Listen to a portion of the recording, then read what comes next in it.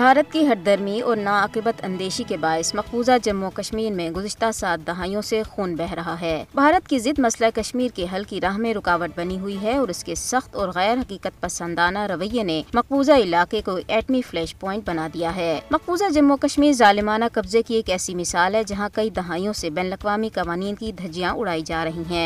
तहाँ पाँच अगस्त दो हज़ार उन्नीस के बाद ऐसी जब मोदी हुकूमत ने गैर कानूनी तौर आरोप जम्मू कश्मीर की खसूसी हैसियत को मनसूख किया था मकबूजा इलाके की सूरत हाल मजीद अबतर हो गई है। भारत कश्मीरों को उनके आलमी तौर पर तस्लीम शुदा हक के खुदरादियत के इस्तेमाल ऐसी ज़बरदस्ती इनकार कर रहा है। दुनिया का सबसे बड़ा जमहूरी मुल्क होने का दावेदार भारत मकबूजा जम्मू कश्मीर के अवाम को उनका जमहूरी हक देने ऐसी मुसलसल इनकारी है। मुख्तलिफ़ हीले बहानों ऐसी जम्मू कश्मीर में फौज बढ़ाई जा रही है। हाल ही में भारतीय हुकूमत ने लोकसभा इंतबात की सिक्योरिटी के नाम आरोप मकबूजा इलाके में पैरा मिलिट्री फोर्सेज की मजीद छह सौ पैंतीस कम्पनियाँ तैनात करने का इंदिया दिया है। भारत कश्मीरों को अपना ताबे बनाने और उन्हें इज्तमाही सजा देने की एक साजिश के तहत अपनी फौज के ज़रिए कश्मीरियों की नस्ल कुशी तो दूसरी जानब मकबूजा इलाके के पानी, मादनियात, जंगलात, जमीनों और दीगर कुदरती वसाइल लूट रहा है। अहले कश्मीर अपने ही वतन में मुलाजमतों दीगर मौाक़े ऐसी महरूम है।